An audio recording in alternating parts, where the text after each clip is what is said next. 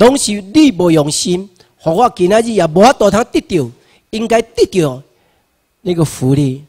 所以这些年来，咱经过遐尼久，咱拢是伫迄个啥？迄个政治的炼狱中，啊，咱讲政治炼狱中怎样的人家唱？一个没有国籍，对不对？啊，Q 本属于什么人的 Q？敢是老欧啊？迄是恁阿公阿嬷，咱台湾人呢，对不对？所以我是想，我是用爱唱迄个啥？手竿那看袂无，手竿那看袂无，手竿那看袂无，手竿那看袂无，什么人？迄是咱台湾人。所以必须就讲，咱一定要用心努力拍拼，为了这处。间隔来改变改所有台湾的问题，好咱起来了，所有台湾人讲啊，好家在有你，好家在，你敢知？咱手举管好唔好？来向咱比啊讲，好家在有你来，好家在。哎呀，你里里达达要做政府，安尼做呀？啊，我要等啊，举手举个管，向你比啊讲，好家在有你。我若是讲无你，我袂喘气啦，对毋对？对毋对，少年的？你有梦啊啦！我来讲，连刚好执政拢嘛是少年的，但是我会当要求吼少年啊，咱执政吼，你哋执政的是，阮这老人年轻不要给我砍掉哦。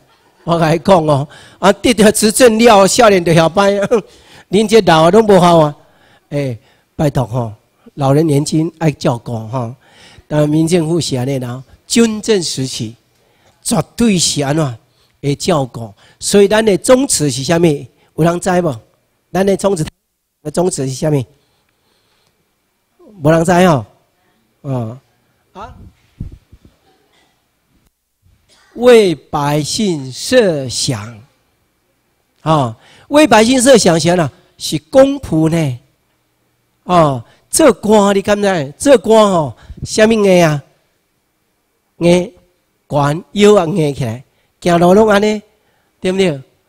公仆唔是的，咱爱温柔、谦卑、为民服务，对不对？这个叫公仆呢。所以我们要牺牲，要奉献啊！咱无这种的时刻，咱都无法度。今日呢，咱蔡医生老师来到家，用咱的掌声鼓励欢迎咱的蔡老师。非常有名的记者，今仔日这段时间看到遐尼水、遐尼美丽记者，人讲讲教咱虾米？啊，咱过一次掌声鼓励好冇？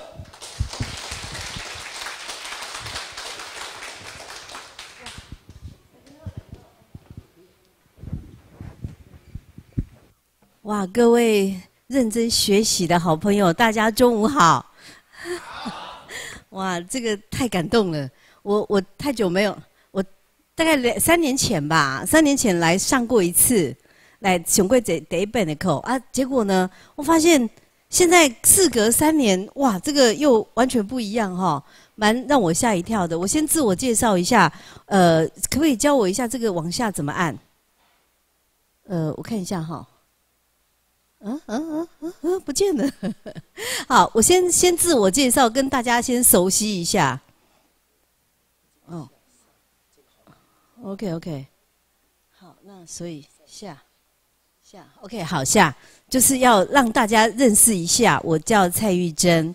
然后呢，呃，大概可能第一点是今嘛看讲看应该是五四新观点吧。好，我是新观点，对对，有印象吗？然后之前有哈。哦，谢谢。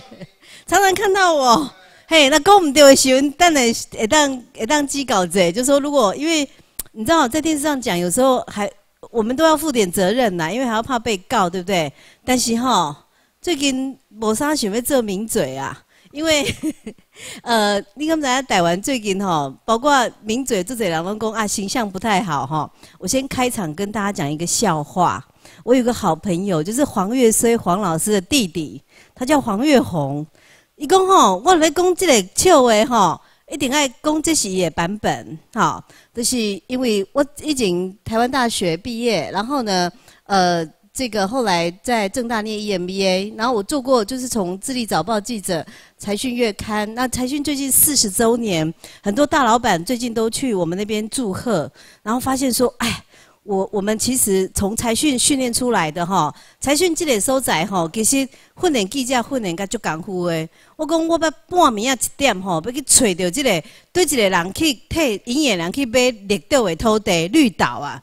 我可以在半夜一点找到那个当事人，哦，这个真的是大概记者里面，哎，当用吹干吼，无车到袂使，无车到所有的规本车拢袂使上去印。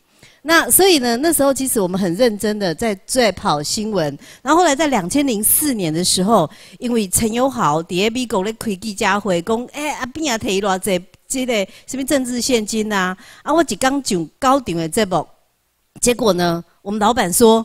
你以后上节目要要许可，哎批准啊！我讲立马看好，就是做记者就是要有自己的专业，有自己的空间，对不对？所以说叫我要批准，所以我就两千零四年请辞之后出来当呃自由业，到处乱跑。那我要讲说，跑到最近不太想当名嘴哈，熊主要原因。是因为黄月红讲吼，因为我以前做记者嘛，来讲记者，记者参迄个那个华西街的那个有什么不一样？说这个什么稿费从优，对不对？原地公开嘛，大家拢听过对吧？啊，但是即马吼，大家讲参名嘴吼，嘛是共款的，因为呢，他说有六大共同点，我先讲给大家听。第一个共同点呢，都是用器官赚钱，对吧？对不对？然后第二个 这样子，这个真的是有点贬低名嘴的地位，但是呢，确实哦，现在台湾的名嘴那个那个地位就这样子。然后第二个就是器官张开就有钱，第三呢都传播病毒，哇，弄我病毒嘛哈。然后第四呢就是要叫第四呢就是要喊得越大声，然后演得越像，像那个那个中天不是还有人看着电视荧幕会要发情吗？有没有？嘿，那个我就不太会，所以呢，要演的越像，讲的越大声，然后呢，这个客人就越高兴。那第五个呢？第五个共同点呢是，除非你有经纪人，因为那个行业不是都有经纪人吗？除非你有经纪人，否则价钱公道都是三千到五千，对吧？啊，第六嘞，第六就是都在扯淡。所以，我我最近稍微有点调整一下，就说，那希望我自己把过去的经验哈，然后呢，累积的一些呃这个想法，然后跟大家分享。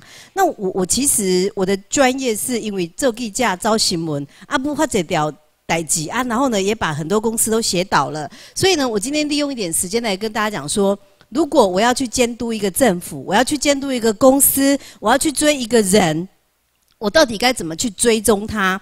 呃，因为哈，这些最近大概我我有接几间公司的顾问哈，那最主要是因为很多大老板呢，他他先就是呃，比如说他明天要见谁哈，他要见林志深哦，那就说，那你帮我把这个人查一查，这一一经调查给我，这个是 A B 档啦哈，叫做 A B 档。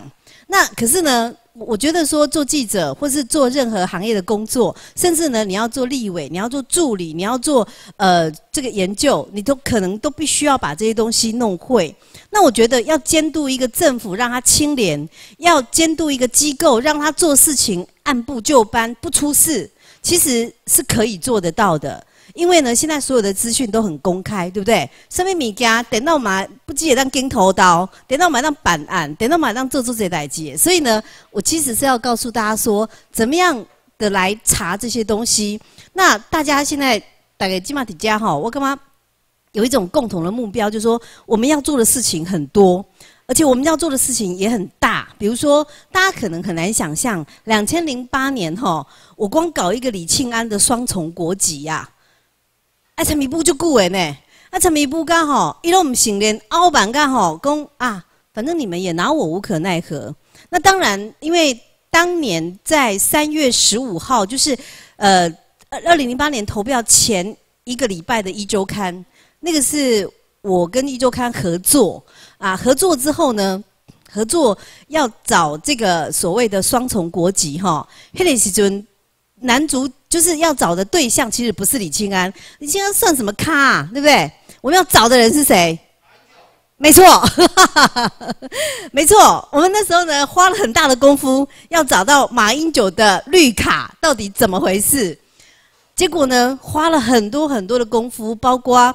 呃，我我想大家都知道，说其实纽约有一群跟这个美国智库很好的朋友，那他们呢也回来，也跟李前总统也去沟通，包括易美的高董，还有这个我我记得好像还包括李远哲博士吧，就很多人要去想办法说怎么样去突破，结果哈开出这几年，不要退掉那个那个资料，拿到六个人的绿卡号号码，就是包括李庆安。包括宜兰的那个吕国华，包括赖世宝，包括呃郝龙斌，好，总共六个人。结果呢，这六个人我们后来追追追追追追追追到没办法，发现说赖世宝说他宣誓放弃了，哈，他是有公开宣誓的，也就是照那个呃那个叫做什么 A A A 什么，就是呃填一个那个什么一个表一个申请表嘛，好 A 什么一零四还是什么一个表格。那个赖世宝说他有去填，填了之后呢有宣誓。那李清安呢，他根本就不甩你，他根本就不甩你。后来呢，我们就从那一期的一周刊开始，一直登，一直登，一直登，登到后来，你知道他怎么被康的？就这个女人太贪心了。因为呢，我们把资料调好了之后，然后就确认说他是有双重国籍的。可是呢，他他就不承认之后呢，那时候我们不是在领消费券吗？结果这口这口被更小哎，去美国领退税。他去美国领了退税之后呢，结果美国政府才回复台北地方法院说：是的，他的 security number 是多少？所以呢，他来领了退税。所以是由美国政府写信给回复给台北地方法院确认说，这口就被更小哎，因为不支持的台湾这这双重国籍啊，你下这薪水。各可以逼国人家退税，所以才会让李庆安的双重国籍完全的水落石出。好，那所以我的意思是说，其实做记者啦，哈，甚至说做一个，呃，我觉得在我的生涯里面，就说有几次像这样子的一个一个追踪啦，然后然后改变很多的事情，就很像我我有一次跟我妈去那个全联社啊，现在不是大家都讲那个全联先生，然后买东西很便宜吗？那大家知道，因为以前那个东西，那个地方叫做军工教福利中心，对不对？那呃，其实调查局原来在办这个军工教福利中心的上架费的弊案的时候，全部通通都被压下来，弄阿来没搬进。那后来呢，我自己调查局跑得很熟，就有一个长有一个朋大哥，他很有心，他说这个案子我们怎么办？都被压下来，所以呢，他就跟我商量，他跟我商量之后呢。就是他们要去要去跟监，要去跟监那个全联社的总经理姓呃，像像什么什么罗赞罗赞兴，就一个全联社的总经理。他呢跟跟跟跟跟到发现说，他每天都会在下班后去内政部接一个科长，叫李玉梅。结果后来追了之后呢，他们先去泡温泉，然后再回去豪宅，那就全部都有资料了。就是我我跟他要了地址。该提提地址，啊提地址被冲啥？因为我要调所有权状，结果我就调了那个他们一起买的那一间房子的所有权状之后呢，再用那一间追出四间，就是这间列警几间个登记，大家有看过那个土地所有权状嘛？哈，就说我追了一间，然后呢那一间我登记的地址，我再去延伸，延伸成追出这个女的有四间房子。然后我再拿去大华不动产鉴价，发现说这个女的很很可怕，在内政部当科长，可是呢四间房子加起来大概将近两亿，在民国八十八十六年还是八几年的时候，那后来呢？我写完了，就是写说豪宅归你，贷款归我。那个全年色的弊案，那个是我在财讯月刊写的。然后结果后来，包括张启仲，台东的张启仲家族，就整个被约谈。然后呢，后来呃，这个后来下令说全年色改掉，改掉之后呢，就改成现在的全联股份有限公司。然后呃，林敏雄再去买它。那其实要要那结果呢？这我记得当时全联社总共就台湾有六十五个点，然后全台湾一年大概有三百亿的交易，三百亿的那个营业额。那你想想看哦，你那五趴的好啊，对吧？五趴啊，三百亿，你几年嘛？至少有十个亿的所一个营业税，光营业税哦，而其他营业所得税或其他都不算。跟他一个全联社本来是咱政府一年爱朝七八千万补助，就是我们纳税的人的钱补助他，然后呢又不用缴税，然后张家张启忠的家族老大老二全部都养了好几个小老婆，弄起过来，因为哈呃一个负责一个负责迄个日用品的啦，五零混、C 三混啦，啊，迄个卫生纸啦，吼，因为迄个生活用品的一间公司找他。另外一间呢，食品生鲜的找另外一个，你你知道，那时候去调查局看说，哇，怎么那些都看起来很年轻的辣妹，可是呢，她就是在帮忙，就是在呃，他们养在外面，然后呢，呃，身兼财务、身兼收上架费的小三，所以那时候真的是很受不了。然后后来我就我就跟我妈说，你看嘛，现在至少。全联社，你进去之后有发票了，对不对？这也算是我我对台湾的一点小小贡献。就类似像这样子的案子，其实我处理的蛮多的哈。那我，所以我我想先跟大家有一个开始，就说好，你那下是你那各位，你要去做记者，你要去对一寡物件哈。比如讲，OK，呃，这是我我上次再举一个例子啦哈。比如说，OK，吴宇森，大家都想到维格，对不对？好，那他被查到，他被查到那个去维格之后，有很多电视台记者说：“玉珍姐，他家住哪里呀？他家住哪里呀？”这是第一个，他们大家一定会想到的，因为要去堵他嘛，然后要去堵他老婆嘛，哈。好，那大家要去堵刘娟娟，怎么堵？他家门口怎么找？因为你要当记者，你一定要想到说，记得你家里点爱像，然后再来呢？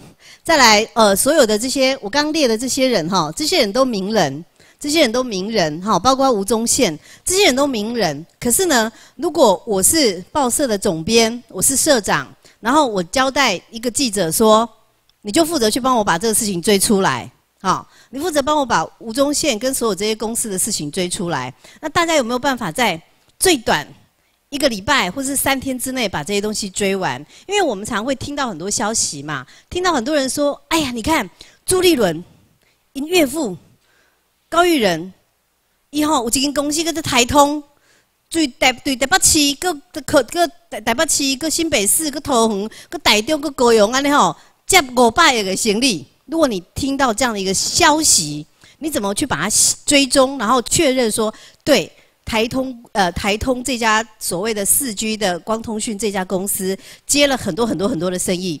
那我现在就要利用两个钟头的时间，跟大家讲说这些事情要怎么完成它，怎么做哈。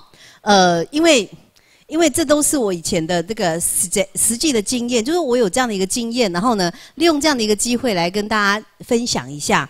那这种东西呢，等闹拢也筛查，所以你看大概。今嘛好资讯，大家不是讲说这个叫做什么人肉搜索，不？人肉搜索，可是我人肉搜索呢，我也要找到对的啊，我不能乱枪打，打下去之后那个人叫张淑娟，哇，转台完记就我爸哎，个几千哎，英雄哎，张淑娟怎么办？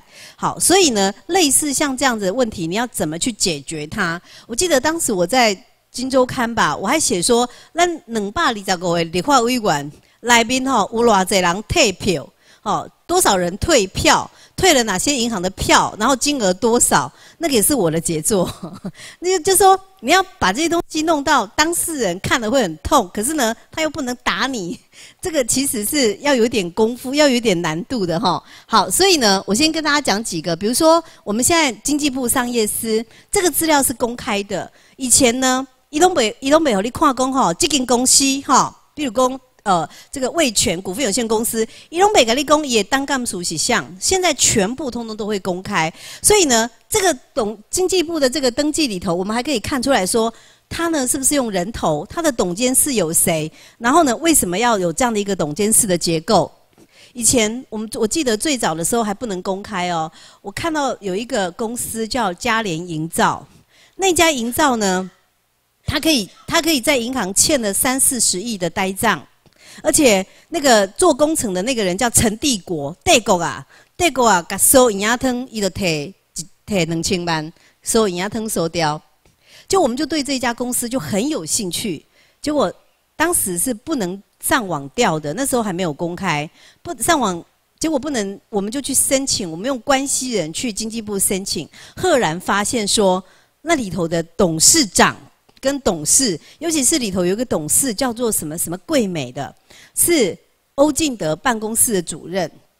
然后呢，董事长是他姐夫，那就那一家公司其实就是欧进德在掌掌管的公司。就我们常常在在在查案子，查到说，哦，bingo 亮掉啊，那个那个项，就是说你要有这样的一个呃追一个东西，要追到说我我掌握的东西，包括人证物证都是对的哈。那除了经济部之外哈，这个地震资料大家知道吗？包括我们现在要查，我如果要查呃这个我们现在的。呃，这个所谓的呃，园园这这条路叫什么路啊？园林坑路，对不对？我如果要查这个，我们这些建筑，它登记在谁名下？然后呢，它呃，银行借款多少钱？然后比如说，我们要查地保，地保呢有多少住户？然后这些人呢，他们跟银行贷款多少钱？都可以从这个地方叫做地震资讯网专台湾。目前的收宅弄尾筛查，这个大家知道吗？以前有没有人查过了？有没有人查过？可不可以问一下？就是说，很多人在想说，哎，为什么嗯，我们做记者知道这么多？像我在电视上讲说，有一个女的，连她女儿是谁生的都不知道，叫李珍妮。李珍妮，我点点洗定工哈，彭淮南，彭总裁，你要注意，怎么会有一个女人？怎么会有人拿地保去带四胎？这太离谱了，然后结果呢？他说他要告我，因为我泄露他的个资。我说没有，因为对于这样子的一个不当的放款，我们是要去监督的。我做一个媒体，我要去监督他。李珍妮跟我说上节目跟我说他财经多好，他要主持财经节目。我只是要告诉大家说，这个女人一胎、二胎、三胎、四胎，把地保的增值全部都带出来花光了。那这个怎么找？就是上这里地震资讯网就可以找得到了，呃，半分钟不到一分钟，所有的真相全部都知道。好，还有一个东西大家可能很难想象，为什么那天我们讲说都朱哥斌呐、郑文斌、地沟斌呐，哈，地沟斌那公通事通气时效过了，对不对？说自由了。那我那时候在讲说地沟斌那就搞诶，为什么？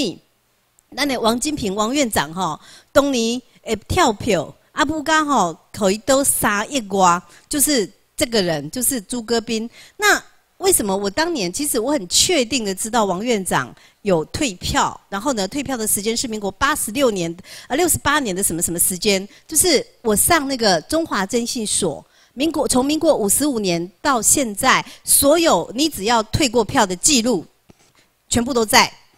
凡走过必留下痕迹。哈，好，那再来呢？比如说我刚刚讲的台通，哈，或是我曾经报道过说。我们的唐飞唐院长在卸任之后，去一家公司，这间公司嘞，唐飞龙不可以，伊龙底下在做门神，娘领坐领甘心，然后他专门做什么事？专门接国防部的生意。所以你你要把这些东西弄出来，然后你要写的对象是唐飞，那写错了之后会被告，所以这是很可很呃，应该是公哈有点难度，对不对？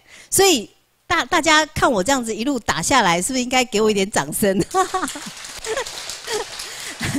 我真的真的是说，我是冒着生命在处理这些新闻哈。那我现在先告诉大家，呃，这个这些就是呃有二十个，就说除了我刚讲的那几个之外哈，Google 经济部商业司财税资料，今年刚我姐的大哥搞我讲哈，玉珍，我给我姐查某给他看两百几万哈，哎，今嘛哈就请哎，然后呢，呃我。他我去找他要钱，他说叫主脸的兄弟照他。我说，大哥很简单嘛，你就立得提一机票，就是那种玩具本票有没有？然后呢，你去法院申请一个叫支付命令。那你申请了支付命令，公好哦，比如公我我举林志生为例，林志生开了一张本票给我，结果他跳票了，哦没钱。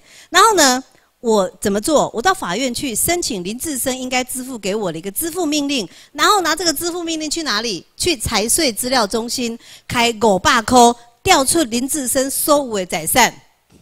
阿姨脑宰善呢？我的个假扣押，所以为什么周玉蔻会被连战假扣押？为什么郭台铭可以对很多记者假扣押？开口罢扣呢嘛，不乱搞嘛，请公司里面的法务做就好了。那我们也可以做，不是只有郭台铭，不是只有连战，是各位你也可以这样做，就是花五百块去财税资料中心调查你欠你钱的那个人。比如，但是爱提法院的支付证明、支付命令哦。不是说我去查他就会给我，像呃我我没有任何债权，可是我想查你，那没有用。你要有法院的支付命令，支付命令就是说确认你跟我有债权，那就可以去财税资料中心花五百块去申请你名下有多少报税，报税大台湾宝贵嘛，就是那个自然人凭证上面的财产，包括你有多少账户。你看那个温森温大哥多可怜呐！到今嘛吼，伊伫后头内面只要有钱吼，连赞拢会甲扣去，都是为着迄个卢家诺的洗钱有无？然后周玉蔻不是被假扣押房子吗？那周玉蔻为了要涂销他的这个房子的假扣押，就去把那个钱付了。可是呢，温森想说啊，为了只扣六缕啊，你有拿我有什么办法？好，然后呢去领上节目领通告费，拿的是现金，你也没办法。我随便签另外一个人，我签一个王小丽，签谁，你也没没你也没办法。所以呢，温森现在是用这种方式在在闪躲连战。你看那个家那一家子，儿子说还要出来当台北市长。好。那接下来呢？还有什么哈？还有一些呃，像司法院的判决。我常举一个例子，我说哈，这个人喝狼拍狼哈，你叠换衣行过，你行过是虾米代志哈？大家拢看个做清澈。像我那时候在讲说，呃，有一个人叫邓香妹，有没有？然后出来说，呃，辜政府辜老，然后跟跟他什么生了一个女儿。那这个我第一时间就在新闻哇哇哇跟郑侯宇跟虞美人讲说，这个女人很坏。拿孤老的钱去星期五餐厅玩牛郎，这个女人很坏，所以呢，你们不要宣扬她，然后好像一副说，呃，孤家欠她，孤家还要开棺验尸。那结果那个那个红姨学长说，哈，安娜不玩那共红那种收视率，可是呢，我怎么样子在第一时间知道说，这个女人的司法判决里头的档案的时候，万一判出来物件，下物件哈，啊都拍人啊，哦啊就。不怎么，就是做很多坏事啊，哈。那这东西怎么找？那另外就是我刚讲的唐飞的公司，或是我刚刚讲朱立伦他岳父的公司，怎么样的接政府工程？这个在政府电子采购网。然后呢，还有一些呃，像我刚刚讲的一堆立委啊，财产呃公职人员财产申报，最近不是有很多的公布说谁是产条啊，谁是现金大王啊。然后呢，像什么法务部长罗英雪他们家在呃。大陆深圳有买房吗？那这个都是在公职人员财产申报。好，那另外呢，很多很多很多，包括了中时联合财讯，哈，甚至包括所有的报纸、报作，从温内主那里刚美工蚂蚁男，你就是当人家枪手，你就是替人家考试嘛？为什么？报作拢五下，哈，K 手也学他们上这会 K 手嘛，拢五下，凡走过必留下痕迹，所以呢，这东西通通都散不掉的。呃，像联合报哈，联合知识库还是从民国五十年，所以马以南当那个枪手的时候，应该是民国六十几年吧，这资料都在，long delay 都抹不掉的。你想要涂销，你当你老哥你你老弟当总统，你想要涂销都不可能。好，所以呢，呃，我是。还有这些哈，包括呃一些跟股市、跟房地产有关的，好，那通通都在这边。所以呢，我今天其实就是要跟大家举几个例子来说，我们要监督一个公司、监督一个政府、监督一个人，我们可以用哪些东西？就很像以前我喜欢看那个那个叫就就我我举那个说怎么样叫当当侦探哦，不是那个谁呀，呃。就是有一部有一部那个片子哈，然后他上头不会说不是说伙计哈，然后呃他要开车要去哪里，然后就坐在那边就找资料，马盖马盖先，对对对，然后呢那就就可以把所有的资料说，你可以帮我把他犯过什么罪哈，然后呢干过什么坏事，全部通通都印出来。我现在专门就干这种事，而且很有趣，好。好，那所以呢，怎么就说这是有一些这个，我我是我我慢慢举一些例子给大家看，然后再再呃再退回来了哈。这是我个人的几瓜，呃，我先因为我想说要让大家认识一下哈，然后呢，所以这个是我个人的所谓的这个呃个生涯规划。我记得我每我我跟大家讲一个习惯，我每年的除夕都一定会做一件事情，就是说我列我二零一三年我整年要做什么，二零一四年我整年要做什么，二零一五年我整年要做什么。然后呢，我会去 check，我会去去 double 回过头去说啊，我今年赚有一千万不？啊，我枸杞碳偌济，吼啊，我厝有买有碳无，吼，然后呢，我有没有做健康检查？然后呢，我现在博士论文今年要把它写完，去年的计划没写完，这里头大概就只有一个博士论文没写完，其他的呢，我该完成的、该做的，我大概都有完成。这样子就是因为人生苦短嘛，对不对？那一年三百六十五天，像我今天跟大家相处，我不可能说，哎呀，我每天都来啊，因为你该做的事情有蛮多的嘛，哈。所以呢，我先跟大家分享一下，说我的工作计划里面，就是我每年大家都会列，例如说我要去哪些地方玩，然后我要做什么事，然后我绝对不会像。我绝对不会像呃某些人哈，每天都当上班族，然后呢窝在里头啊，连放个假都没机会、没时间。像去年我刚好在那个呃全就是那个快乐电台，刚好主持了十个月的早上的节目，就是套炸呃气垫嘛，有听过哈？谢谢，刚好哎，就在去就这样子一年哦，所以那也是那也是那个当时呢，就就是有点好像跟。跟所有的什么，跟上帝祷告，然后跟阿弥陀佛，然后跟所有观世音菩萨，所有的人说，我要做这些事情，然后我要完成它，而且我要做到它。像去年，呃，去年我刚好也在呃新庄卖掉一间房子，那卖掉那个房子呢，刚好可以可以赚进，就是呃二十万买的，然后卖三十九万多，将近四十万。花了五年多六年的时间，就说他也在我的规划内。然后呢，我在买房子，我后来就就是在把新庄的房子卖了之后，然后呢再去换一个台北市。我后来是换台北市，那就就说呃，这些都是 都是我觉得可以做而且该做的计划。好，那我希望大家也有这样的一个习惯。好，那该做什么事就把它完成。然后另外呢，就是一些投资理财的一些工具跟想法。哈，好，可是呢，我现在要。开始，我现在要开始进到重点了。重点就是来，我刚刚讲像唐飞，像唐飞接了行政院长之后，呃，我我听说他去接国防部的生意，然后呢，这家公司叫益康，他接了很多国防部的案子，然后呢，他坐领干身，坐领干心，他是去当门神还是怎么样？那我要在最短时间内哦，我跟大家讲，追唐飞这个案子两个小时，冷点金的的处理后啊。这两点钟要做什么代志？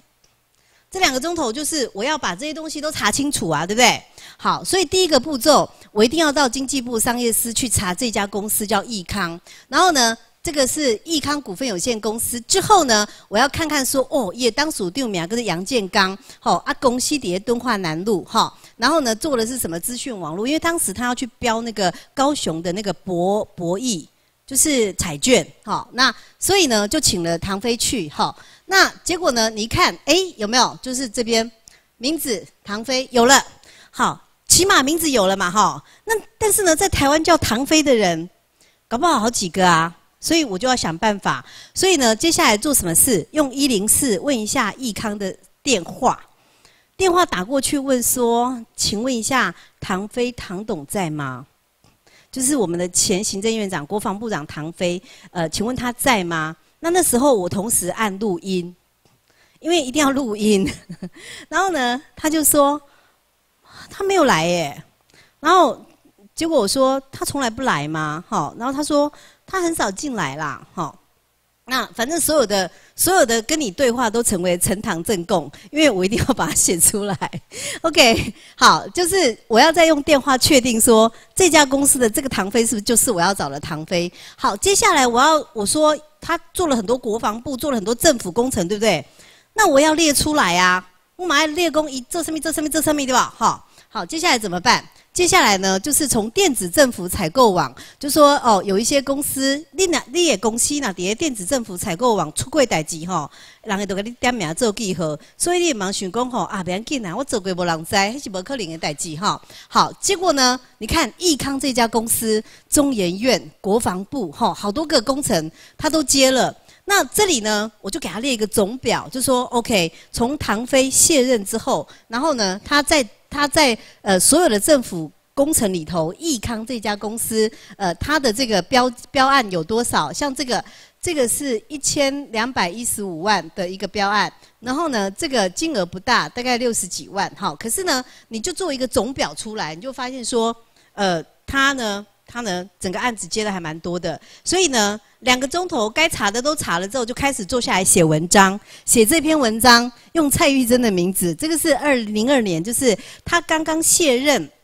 他两千年，两千年阿扁让他做一百三十七天下来之后，他就去接这家公司。那后来呢，我就写一个说：唐飞无关一身轻，做起国防部的生意，益康公司生意不小，董事长来头更大。那就是这篇文章。那这篇文章弄出来之后呢，他有一个干女儿叫黄宝慧，从十二年前就说要告我，告到现在我还在等他，应该追诉时效早就过了，他都还没来告，就是这是因为这是真的。那唐飞呢，他也不敢否认他有干过这个事儿，都是。都做过啊！阿姨嘛唔敢讲，无你甲我玩弄吼，你甲我委屈。因为呢，我如果我冤枉他的话，我也觉得对我来说有点良心苛责嘛。毕竟他有他一定的社会地位哈。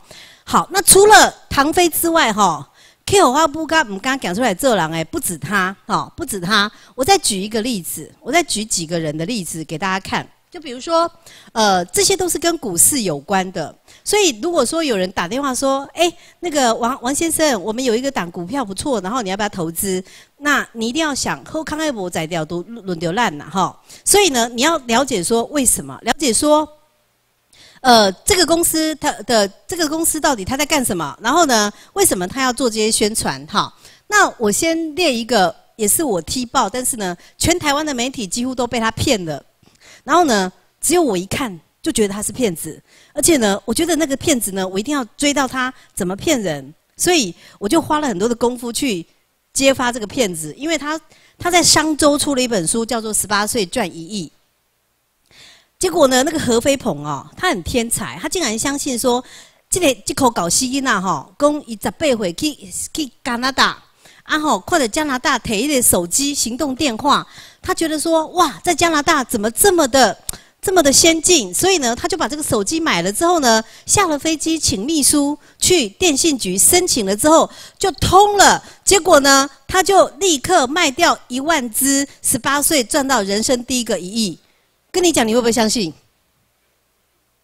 公办嘎，我蛮不相信，对吧？那个何伟鹏相信啦，而且还帮他出了一本书。好，那所以呢，我就觉得说他一定有问题。什么沈春华、郑红怡，什么每个人都专访过他，那我看了就很不顺眼。后来呢，他还去一个媒体叫《商业时代》，《商业时代》呢，呃，《商业时代》那个彭信珠哦，《商业商业时代》那个彭信珠呢，还让他当董事还董事长，然后呢，呃，等于是在帮他做宣传哈。那结果呢，结果这个十八岁赚一亿的这个人哈。就是发行人彭信珠哈，他呢，他想说这个人有钱呐，阿姨的背几根背几的报状哈，来给你这宣团。那要踢爆他，其实其实也是因缘际会。有一天我在写那个叫做《落难大亨》的是咱九旗公司做者当属定哈，弄出歹几料啊都躲起来。那有一天呢，我要去找一个东龙五金的董事长叫范方奎。那范方奎那时候不是。被被打之后，然后黑道主脸的大哥保护他吗？那刚好那个主脸的堂主叫姚威，我认识。我这个人蛮怪的，因为我从九岁就跟黑道大哥在一起，所以那个那个堂主那个竹联帮的中堂堂主姚威，我就跟他说：“姚大哥，你帮我约一下那个范方奎，然后不然的话，你你你帮我，就是我想采访他啦，哈，就其实很简单，我就是想找范方奎啦。那。”出事情之后要找他，其实也不容易啦。可是呢，你只要找到对的人，都可以都可以处理呀。那结果范方奎呢，就帮我约了那个不那个姚威就帮我约约约了那个范方奎，然后呢，我在等他，我在等他的时候，电视刚好有一个广告，拍点滴矿泉水，然后就是那个那个家伙就就自己坐上去做广告这样子，结果那个姚威就说哦，基本上转台湾上面更小的都是这个，这个吼已经关混的时候我咧管诶。他就这样子就讲说，今天已经咧关混巡，抵我下卡我那个管诶。结果现在呢，全台湾这样子骗死一堆人。那当然，这要要碰到这样的人跟你讲这个话哈，我觉得有点怎么讲？不知道是是上上签还是老天爷保佑。那反正呢，我就必须要把姚威的话去追踪，对不对？好，那要追他很简单，像这种有犯罪的人。你一定要像我跑司法嘛，我一定要去找一个检察官说，这个人在犯罪，你帮我调一下他的口卡，你帮我调一下他的刑案记录，然后呢，立案之后呢，我相信有一天你们会逮到他。这不是我去用骗的，我是去用说服的，说服检察官帮我把他的口卡调出来。结果一调出来，发现十三岁开始伪造文书、长夜诈欺，这三回哦，就搞诶。个啲歹当啥个 B 不不用 B B 扣用啥最好骗呢？然后呢，那个口卡一掉出来，哇，那简直就是昏倒。所以呢，呃，所以几乎口卡掉出来之后不动声色了哈。但是哈，杜的这种人立马没塞呢。喂，我那个这个魏董，我们要去找你，然后呢，然后接访问他，这样也不行。所以我们就开始讨论说，那怎么去让他呃有他的讲法？可是呢？你要做什么事情，我都心里有数哈。其实我在跑新闻，一直都这样子。像大家都印象深刻，那个新瑞都不是有一个人叫苏慧珍吗？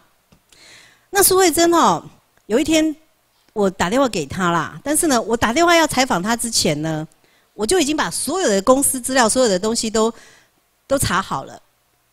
然后他就讲说，他跟于晨月英的合作，然后呢，这个。阵容多坚强！那当时呢，刘天英看好他这块土地，所以要怎么做怎么做。后来呢，我就只问他一句话：“阿当哎，阿你公司奈无用你的名哦，因为我已经查好了他的他的退票记录、他的不良记录一大堆。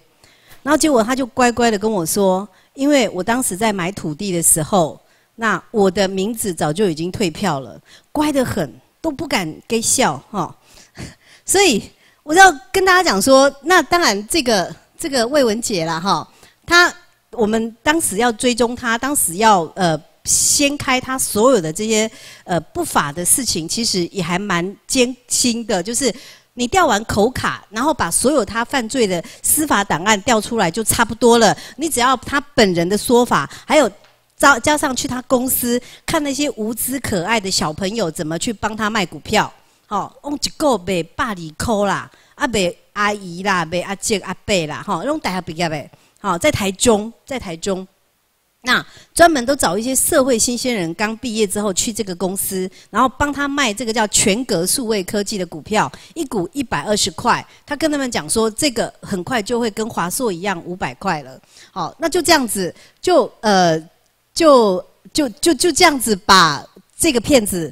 给揭发了，可是我写完了之后，商周还是不肯把这本书撤下架，然后拖了很久，拖到他后来又犯了 A N D，犯了很多案子，然后又改了名字叫魏耀生，就是骗子走到哪都还是骗子，他改了名字他一样继续骗，好，所以后来大家可能有印象，就是包括 A N D，还有很多的很多这个连连续又犯了三四个案子，因为台湾的社会对这种人吼。呃，弄做 cake，就说还要给他无罪推论。可是呢，他走出来，改天你们可能还是会碰到他，他可能又换了另外一个名字。我相信哈。OK，那除了他这个魏文杰之外，哈，还有一个，还有一个把李远哲、把什么朱金武、把什么大人物通通都搬出来的一个公司，叫超导国际科技。我那时候追这个超导国际科技，看到说再造一个李远哲，再创一个朱金武的时候哦，那时候看了之后觉得哇，这家公司搞超导的耶，然后呢，好像未来的一个明星产业，就很像现在有很多人在讲说，呃，生物科技、干细胞什么，大家如果有人有人推荐你说现在有什么什么在优化干细胞或什么哈，呃，目前呐，有好几家新贵公司都是骗人的。好，那这家公司呢，它成立一年四个月就大肆宣传，股价来到九十块，九十块是《先探周刊》本财讯当时的《先探周刊》写的。然后呢，我会查这些公司，是因为有一天我哥哥，我哥哥跟我说：“妹啊，这间公司跟我要叫后哈。”就我哥跟我讲，他说：“这个公司真的这么好吗？”那我这个人向来好奇。你们这样写，那我就要去看一看，哈，我就追追看，说到底你公司为什么那么好？所以呢，就去追，把他的董监事的名单一个一个追，我还打到美国去问这个王守田博士，他是在国内，呃，在全世界非常非常有分量的人，哈。那很多人都会被拿来利用，可是他自己不知道。我追追到美国去找去找他，然后呢，包括打电话给那个。打电话给那个呃，那时候包括杨世坚，好，你你看得到的国内的一些做做躲开，弄底这间公司，铁可以做宣传。可是呢，它里头有一个很很了不起的人，叫王志勤，至尊盟的老大，长姓王，王志勤，哦，王志勤哦，你们看伊哦，底下勾起来宾剑桥大学 MBA 的人哦，很厉害哦，好，那以前呢？以前连我们邱永汉都被他骗。他以前有一个证券公司叫长信证券。好，那你要怎么样找到说王志勤到底是不是用这个公司？然后他结合当时的华侨银行的退休的一些总经理一起搞这家公司。那个写出来的计划书让你美到哈，你很难怀疑这家公司哪里不对。那我就一个一个问，一个一个问，每个都跟我说他不知道。那又只好呢，就只好写了，写了这家说哈，呃，就是这家超导，就说他们本来要发展的叫超导工业哈，那呃，就是写说这个，包括你看我找王守田，然后他出生哪里，打到美国去给他，那就把这家公司呢，大概金周刊下水料的豆啊，就写倒了，就是你再也没看到这家公司了。可是呢。买他股票的人多不多？蛮多的，因为他已经，呃，他已经在那个采先探，然后在呃很多的媒体都已经曝光了哈。而且买的人就是九十块哈，可是现在是壁纸，现在是壁纸。好，所以呢，所以呃，那也是另外一个案子。那再来有一个案子，那更好玩。这个是调查局的一个太太，她呢，她呢。她说：“陈履安卖安心便当之后，现在要集资去中国大陆，好像蛮不错的。问我有没有兴趣？我说：啊，陈履安，哦好。结果呢，我就跑到世贸，坐在台下看陈履安跟他儿子在台上演戏。结果呢，大家想说陈履安开玩笑，陈诚的儿子哎。”当时呢，连整个宿舍都可以捐出去，有没有？跟赵少康那个纠纷呐，我都捐出去，多爱名节啊，哈！好，可是呢，这块来郎嘛写嘛写这拍代记，因为呢，他养了一个女人叫孙春华，那因为呢，这个女人呢要做很多很多事，所以呢，他也只好搞了一个局，让大家呢把钱乖乖的掏出来，好，那所以。所以你知道吗？他用的还他用的还，因为他说卖便当嘛。那卖便当呢，他还跟这所谓的连锁招商哦，就是连锁的这个这个呃企业合作哈。然后呢，叫做富裕创投基金哦，还创投哦。那我还要去查说，那你这个创投基金，教育来供，那得金管会，金管会前身，再不然的话就是交易所，呃，我们的那个什么呃政企局哈，政企会，你总要报备吧，对不对？啊，不然的话，我买在九宫。各位，我要搞一个富裕基金。各位，一个人十万，你们要不要投资？那我也在吸金呐。那除非说你们相信说我一定不会倒。可是陈履安会倒吗？大家一定相信不会。所以钱都拿出来了。好，那我也在台下听，我就看着陈履安跟他儿子陈冠宇宇在那边演戏。好。结果呢？我要去查查一堆法规，查他的登记，查他的所有的资料，发现说陈履安就是在吸金。哎，写文章写陈履安吸金，那也那也真的是蛮勇敢的哈。但是陈履安从那时候到现在都没有来告我，而且他还官司缠身，而且而且还最后把一些被害人找去说。你要不要告他？你要不要告他？找了五个，大家都说啊，算的啦，啊，算的啦。所以呢，他是简易处分，我告好不？这陈就是陈履安，他是这个这样子解套的。好，那陈履安当时呢，你看我要去全国法规资料库找一些相关的资料，哈，然后呢，呃，跟这个跟他所有的这些科技这些公司呢，哦，然后全部通通都查一遍。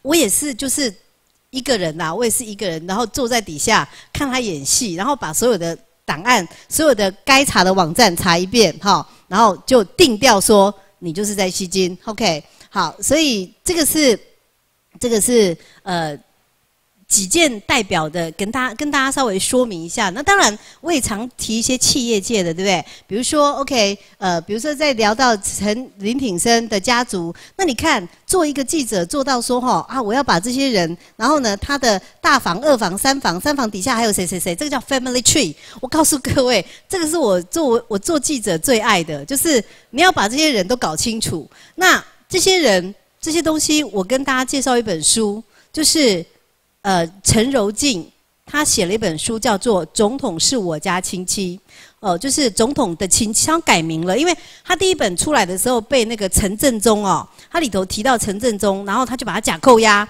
所以就改了，改名叫做《总统的亲戚》，那里头把所有台湾的至少有四五十个家族哈的这种 family tree。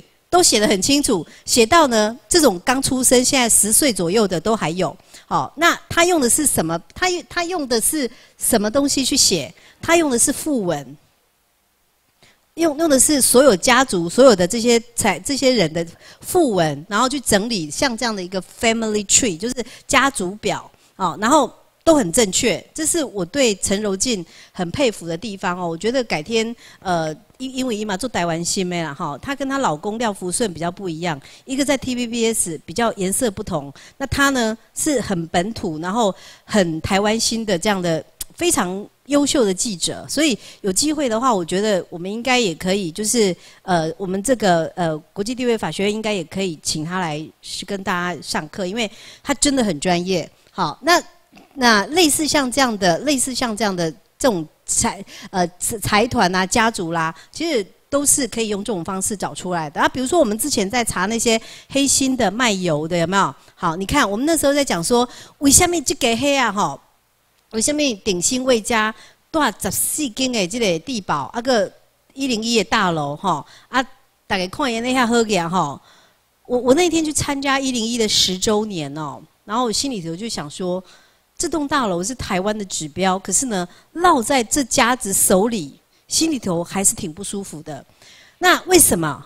你看嘛，他们跟大同买这个油，鼎新自由，鼎新自由呢，那资本额不大，大概就只有一千多万。可是呢，它底下的鼎力开发，哈，这些这些就是持有一零一的股份的公司，就是以永嘉每一种欧心油和大家讲。啊，伊只用这钱去买地保，去买一零一，吼，啊，咱得乖乖啊，买迄种酱车油，吼，啊，然后呢，当做我们家里的沙拉油，哈，这个就是鼎新味家，哈。那我的意思是说，我们要查这些东西都是有依据的，都是要从呃，这些都是我们的官方资料哦，就是进户诶，国诶物件，不是我改编呢，都是政府的资料，哈。好，那所以你会看到说，像以前我在骂那个沈富雄啦，跟赵少康啦，哈，合开公司都是这样子，我都是用政府的资料来骂他们。好，那再来这些，如果你是立法委员，你是包括包括呃法官、检察官，大概大概怎样讲哈？咱台湾的司法哈，其实那这年拜都是记者无领金。我记得我在对付这些法官跟检察官的时候。我第一个动作就是去申请查他的财产，因为我看你，我我看你 A 多少钱嘛，而且呢，我查你现在的跟三跟四年前、五年前的哪里不一样哈？那。立委也一样，可是立委呢，因为太多人在注意，立委是媒体都会看那个本那个财产申报书。那这个其实因为网站都可以查哈，就是呃公职人员财产申报的这个，包括政治现金哈，然后呃财产申报这边都可以查，好，那网络上就可以查得到了。好，比如说，比如说吴宇森，哈，吴宇森他从呃从台北市政府到立法院，哈，一路的报的这个都在这边。好，那这上面呢就会有说他的老婆是谁，然后呢他的。长子是谁？然后女儿叫什么名字？那本来哈，本来都还有一些什么身份证字号那些，那些因为基于个人资料保护法都拿掉。好，可是呢，他的土地、他的房子都在这边。那土地跟房子，你就可以找他的那个所有权状啊，对不对？因为我刚刚跟各位讲过，只要是地震资讯都可以查哈。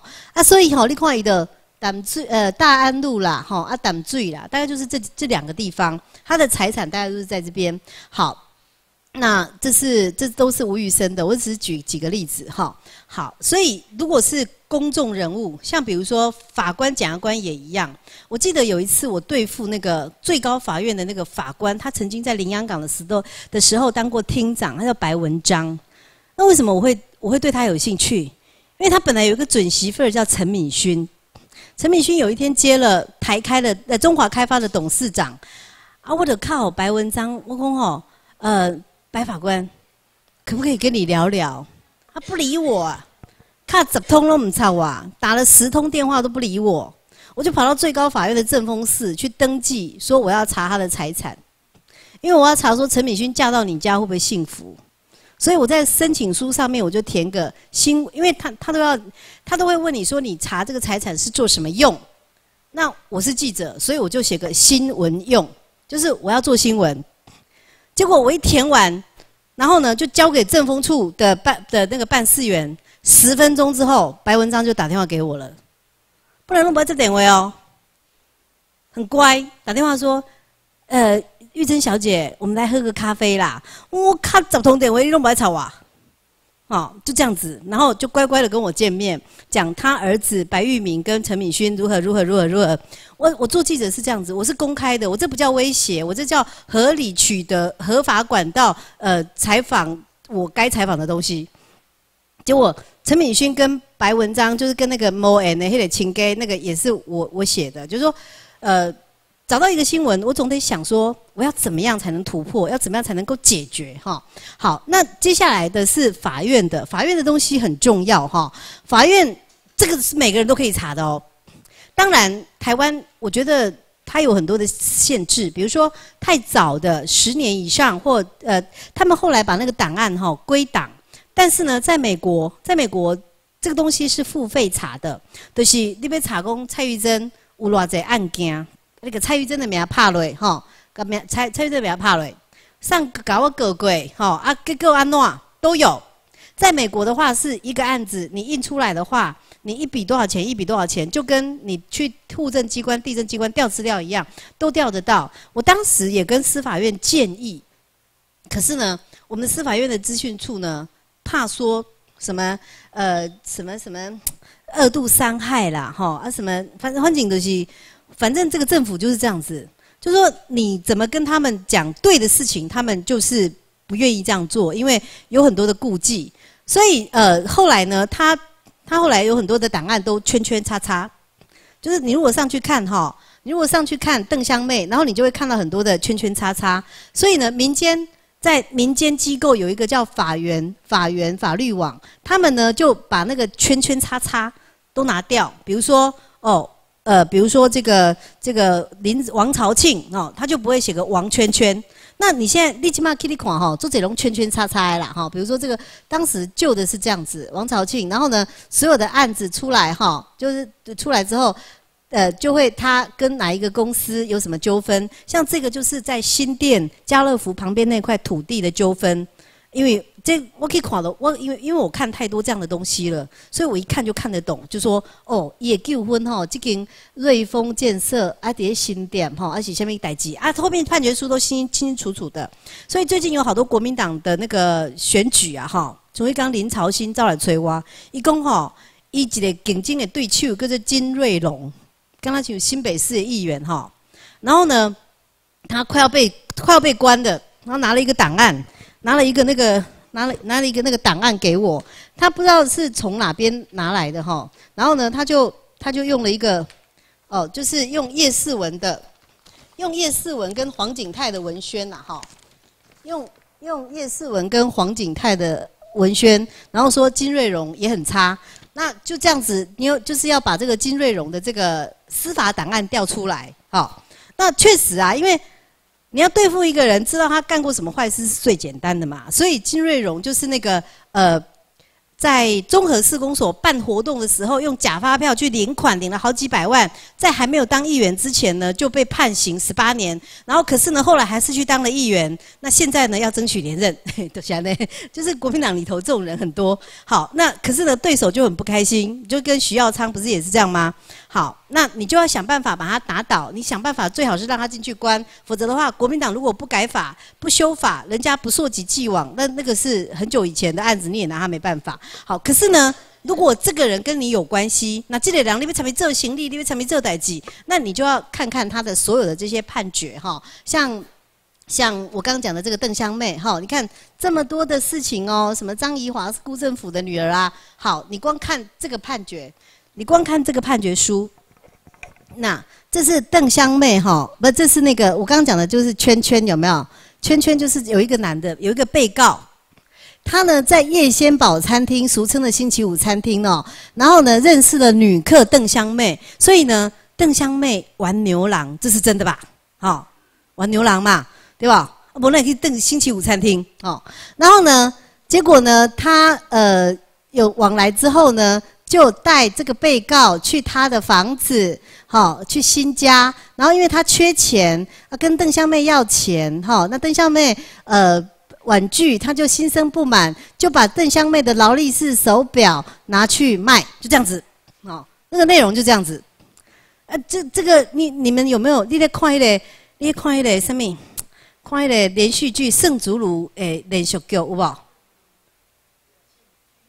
叫做玫瑰同龄眼，嘿，这就是剧本。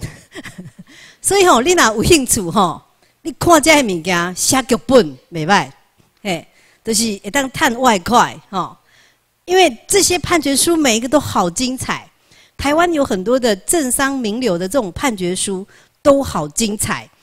圣祖鲁都是怎样？所以伊以前拢直接去写玫瑰同龄眼，但是吼，为啥叫发现讲用嘴较好谈？所以一七载回忆啊，这个造出来，那不然以前他都用这个，他都用这个在写剧本，哈，就是你看哦，呃，什么，然后什么被拿去当铺啦，哈，什么，这这就是很标准的那个玫瑰同龄演的情节啦，哈，好，因为东西很多，所以我怕我讲不完，我先我先那个，哦，一个钟头了，好，接下来还有很多，包括呃，比如说政府有很多的。公报哈，然后呢，包括你看哦，这个是呃，这个是政府的呃公报里面的资料哈，然后台北市政府孙云云的车号，你哪办？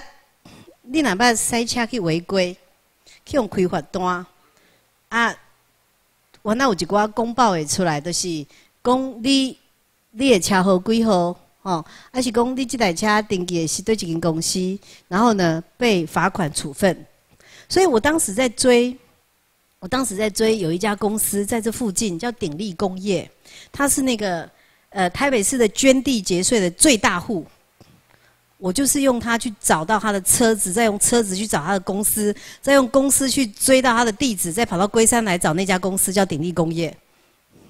然后追说他竟然可以接美国呃接日本的汽车公司一年几十亿的生意，所以呢他在台北市光捐地节税，关公社保留地节税第一名，叫鼎力工业，我印象很深刻，因为这些都是我追过的案子。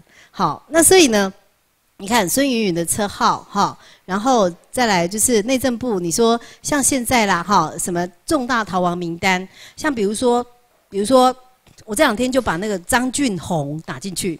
张俊宏杀未婚的学哦，底下那做 gay 现在连立法院开记者会跟大家道歉。哎呀，我呃全民电通骗了大家的钱，我很抱歉。然后呢，那个那个南方朔蔡仁坚什么一堆人陪他开记者会有没有？然后他说我会好好反省。三月份哦，结果四个吹吹波浪，今嘛造起啊。台湾呢，就是政治人物都是安尼，无。不，没有 guts，然后没种啦，就是那种没有种的人呐，跑掉了啦。就是我们伟大的当时欺骗很多台湾人，说要搞什么电视台，然后搞全民电通的那个张俊宏，嗯，那他现在就是你只要打内政部的这个名单，把他名字、身份证打进去，你就可以看到一堆资料，就是他的被通缉，因为什么案子？哈，OK，先休息一下，我后面还有很多，因为因为。我后面还有后半段，包括跟大家讲用这些东西怎么样投资理财赚钱。我们先休息一下好不好？五分钟。嗯，下课休息五分钟，谢谢。